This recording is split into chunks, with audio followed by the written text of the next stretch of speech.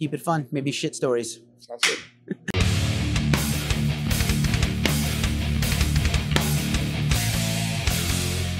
What's up, everybody? It's Laughing Keefe from GhostCultMag.com, and I'm here with Shawn of Child Bite. What's up, brother? Not a lot. How you doing? I'm great. Obviously, jovial in a jovial mood here in the bowels of St. Vitus Bar here in Brooklyn. Welcome back to Brooklyn. Thank you. It's awesome to be here. Yeah, man, here with Black Tusk, who we just hung out with and interviewed, and uh, we're super stoked. Uh, you guys are not only killing it on tour, we're gonna we're excited to see you tonight. You have a brand new record about to come out once again, your fifth album out on Housecore Records. Shout out to Housecore and Housecore Man on Yes. Instagram, our dude, and uh, who follows us. Yeah, he always uh, shares our stuff. And uh, but this record, Blow Off the Omens, I listened to it today. It's awesome.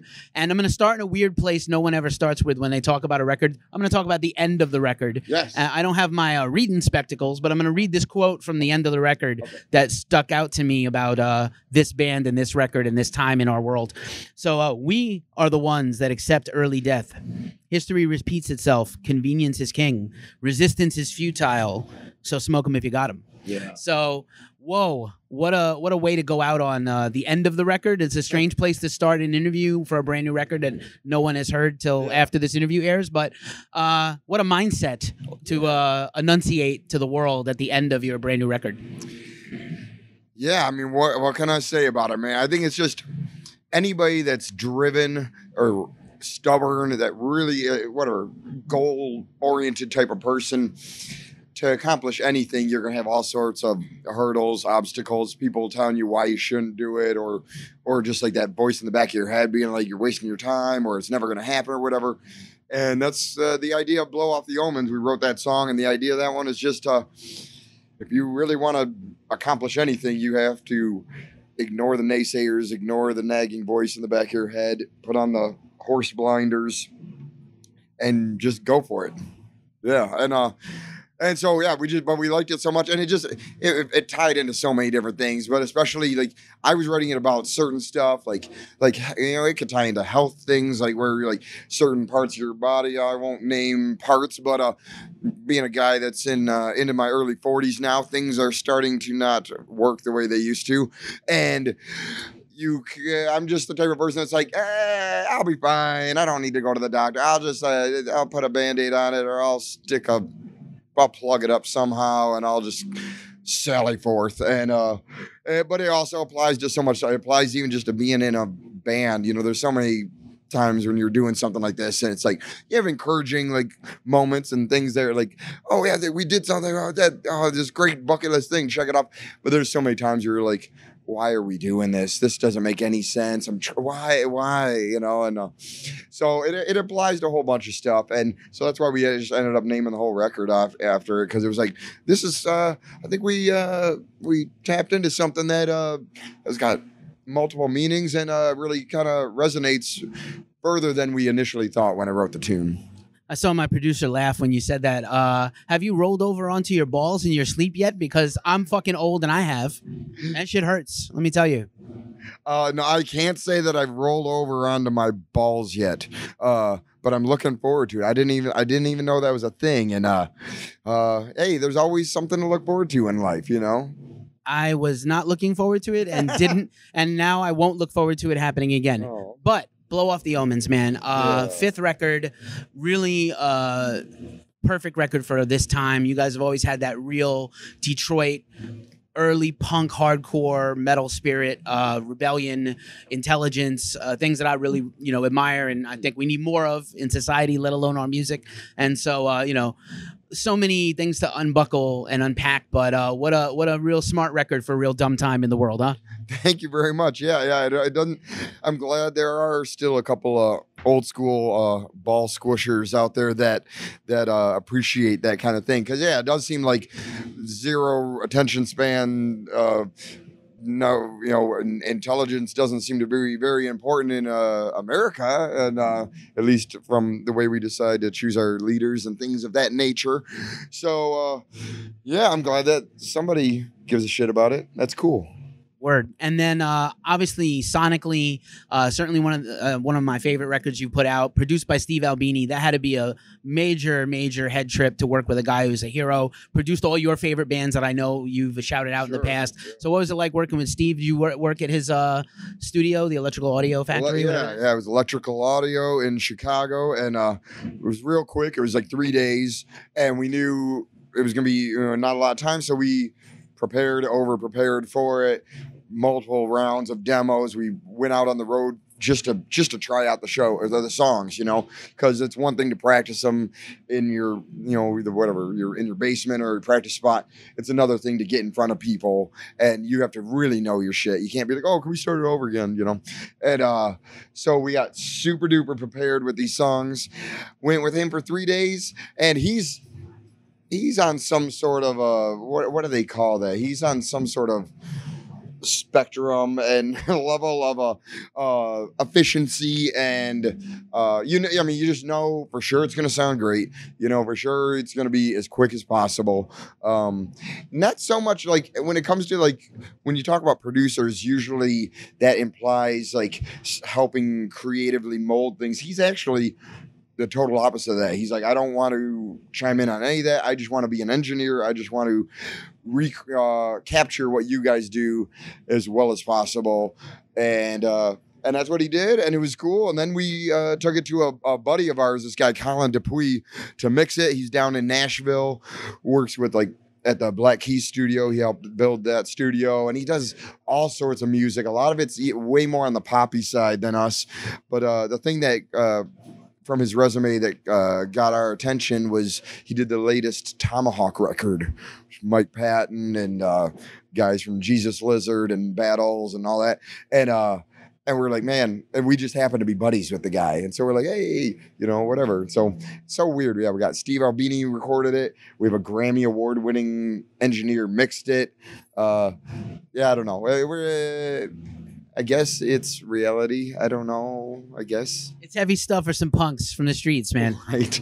Yeah, we're just faking it till we make it. But then sometimes little things are like, whoa, wow, we did that or we made that happen somehow. Or really, you know, yeah, it's cool. it's very uh, cool. The proof's in the pudding on this one, man. It's really a tight record, and uh, I know you know there's bands that go to castles and make records in the in the country for like a year, Mm. you know, like Led Zeppelin records and Pink Floyd, which I love those records. But like, and then there's like Steve Albini, come in, have your shit ready, do it in three days. Uh, even if you're not a fan of, uh, you know, I know Steve is famous for producing Nirvana, Smashing Yeah. Pumpkins, but he go look up his discogs, go look up the thing, go listen back through the records he's made. He's made some immaculate, immaculate records that were literally all recorded the same way in like three days. Yeah, yeah, and that, I think that's the thing. Is like most people, most like engineers that are like big names have done j- huge records, like in utero or whatever. Uh, they're not really attainable for you know Joe Schmo regular little bands like our band. And Steve's different in that way, where he wants to be kind of the the blue collar every man's band engineer.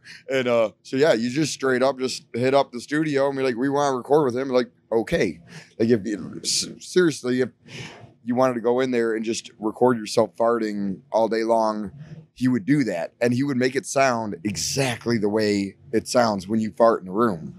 Tight. So yeah, yeah.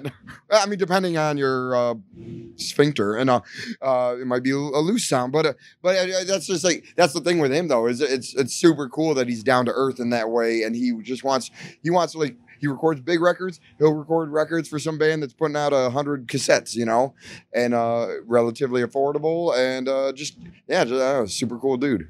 He's all about the art, which I love, and I know you do too. Yeah, same thing. I know there's stories of him like with the with the Nirvana record where they were trying to like sell him or like give him like certain points on the record, and that was gonna be part of how his uh reimbursement or whatever.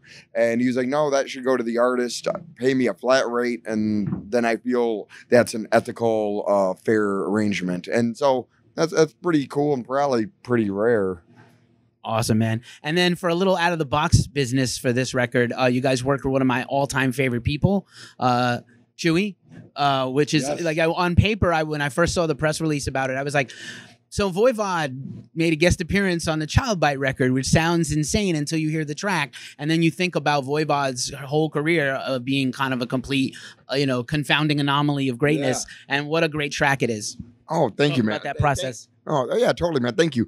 Um, yeah, the the whole way that that came together is because in I believe 2016 we did a pretty long tour with those guys. We went out with them for I think about five weeks, and which was a total honor and a total mind fuck just to be able to do that, you know, and um. And we just hit it off with the guys. They really liked us because we are oddballs and they're oddballs, you know.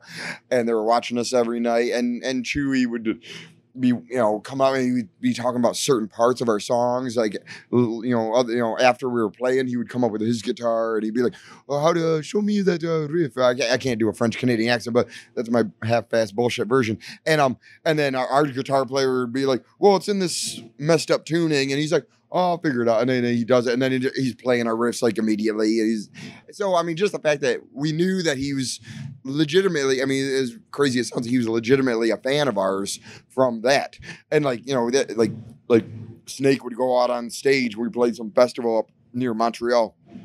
He'd go out on stage in front of 10,000 people wearing a Child Bite shirt. Before he went up there, he turned to me. He was like, respect. You know, I was like, uh, all right, man. All, I mean, that's pretty mind blowing when it's your heroes trying to show you respect and throw you a bone.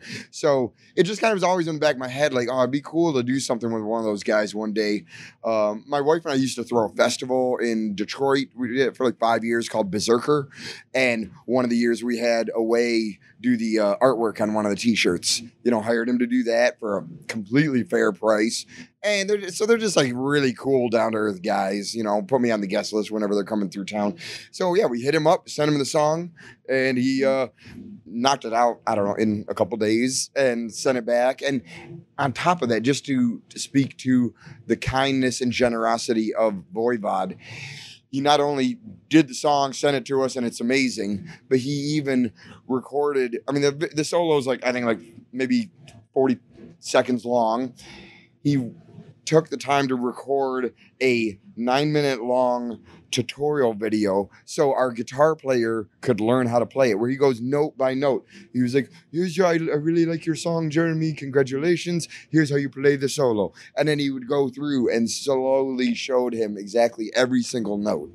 So it's beyond just like oh he did a guest thing. It's like really we got a, a i'm friends with him. And it's just still doesn't make any sense. Does not compute. No, uh, it no. does sound like the most chewy thing possible. Yeah. And also, uh, you know, being a huge uh, prog and thrash nerd my whole life, it's kind of funny how Voivod has almost become more punk as they've gotten uh, more veteran and older. It's weird. Yeah. Like they become a punk band in a way. And it's incredible that they came back with a, a new guitar player, but was basically a student of Piggy.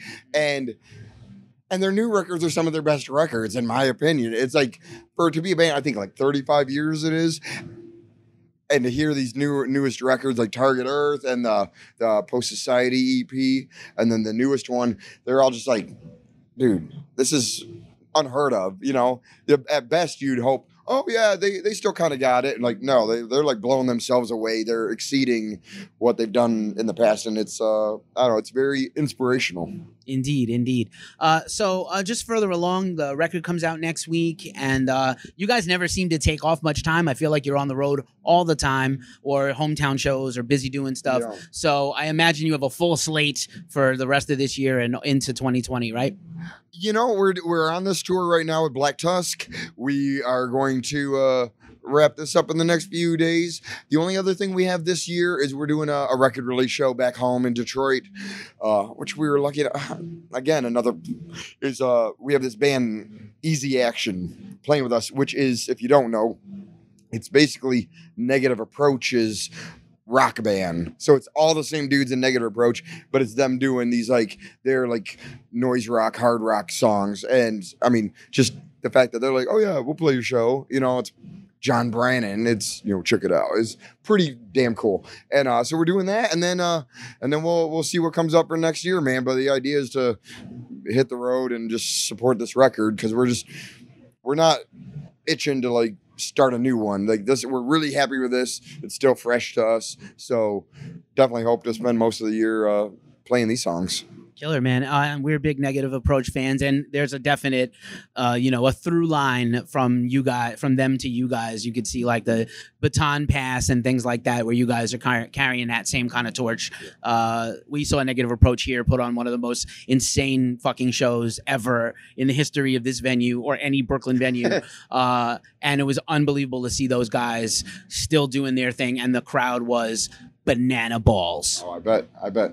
So yeah, man. Uh, but yeah, stoked to talk to you. Uh, super stoked for this record. Comes out next week on Housecore Records. Um, can't thank you enough for spending some some of your pre-show time with us uh, and your uh, Tecate time. I appreciate you, man. Uh, I am Keefe from Ghost Cult Mag. Shawn from Child Bite. We're out. Guilty as charged. See ya.